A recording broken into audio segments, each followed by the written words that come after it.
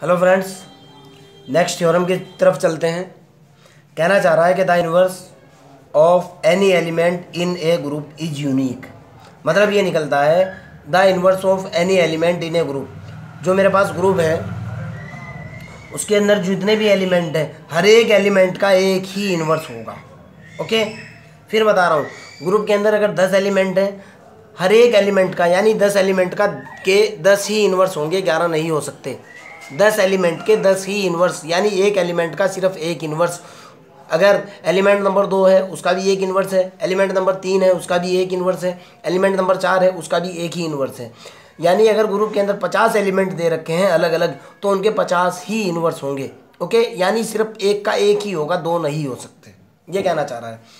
मैं वही बताने की कोशिश कर रहा हूँ। मैंने कहा कि suppose that G comma star अगर मेरे पास कोई ग्रुप है तो ज़ाहिर सी बात है अगर ग्रुप है तो उसके अंदर कुछ ना कुछ एलिमेंट होंगे। खाली तो हो नहीं सकता। उसी की बात कर रहा हूँ so that G naught is equal to five अगर अब ग्रुप के अंदर कुछ एलिमेंट है तो मैंने उसी को मान लिया कि मान लिया suppose that a element group के अंदर है। ओके कोई पर्टिकुलर एलिमेंट ए ग्रुप के अंदर है। ओके अगर ए ग्रुप के अंदर है, ये पहले से ही है कि ये ग्रुप है। समझने की कोशिश करना। ये पहले से ही है कि ये ग्रुप है। अगर ग्रुप है तो ग्रुप के अंदर कोई ना कोई एलिमेंट होगा। और अगर कोई ना कोई एलिमेंट है तो ज़ाहिर सी बात है ग्रुप की डेफिनेशन से उसका कोई ना कोई इन्वर्स होगा।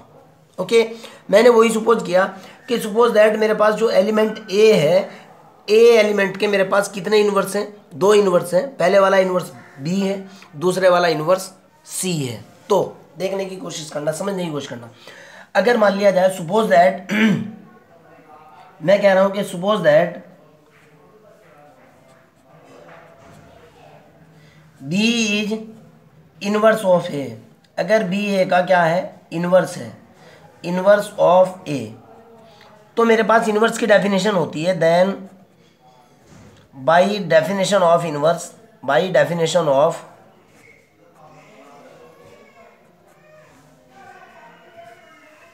inverse inverse की डेफिनेशन होती है कि एक एलिमेंट को दूसरे एलिमेंट से मल्टीप्लाई करने के बाद आपके पास रिज़ल्ट आइडेंटिटी ई आना चाहिए। और ये जो ई e है ना, ये भी ग्रुप का एलिमेंट होना चाहिए। क्लियर आगे की तरफ़ चलते हैं। अगर ऐसा है, मैं आगे बताने की कोशिश कर रहा हूँ कि बेटा, अगर बी जो है ए का इन्वर्स है तो बी इंटू ए बराबर आइडेंटिटी क्या होना चाहिए? और आइडेंटिटी भी ग्रुप का एलिमेंट होना चाहिए। अगर मैं आगे सपोज़ कर रहा हूँ कि again suppose that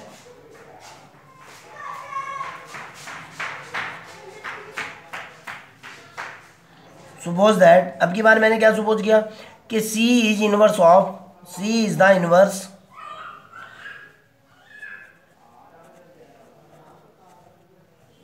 of A अगर सी ए का इनवर्स है then by definition of inverse then by the definition of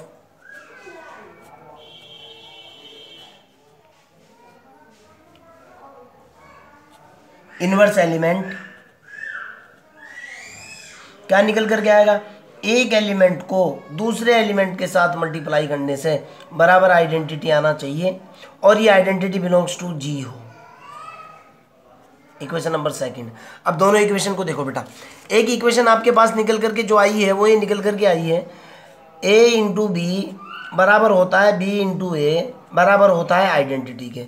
आप ए बी मान लो या बी ए मान लो, कोई फ़र्क नहीं पड़ता। मैंने बी ए लिया है, आप बी ए ले सकते हो। बी इंटू ए बराबर है आइडेंटिटी के।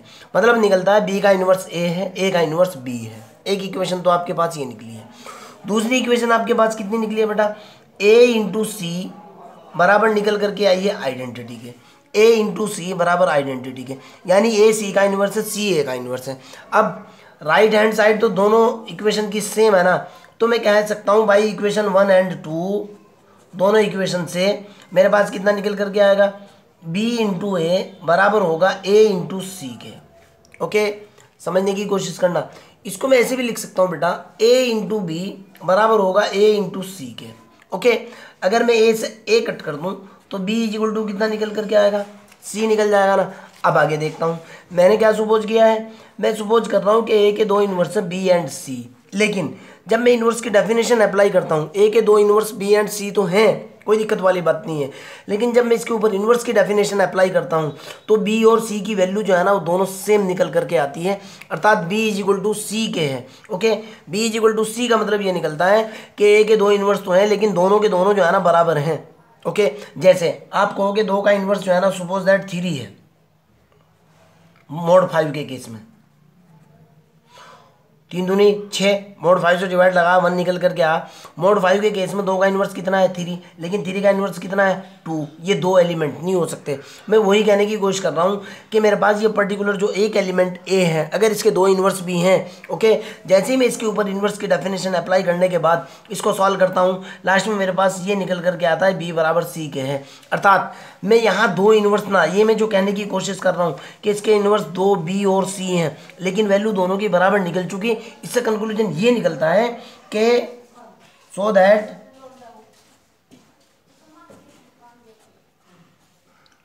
A have only one inverse element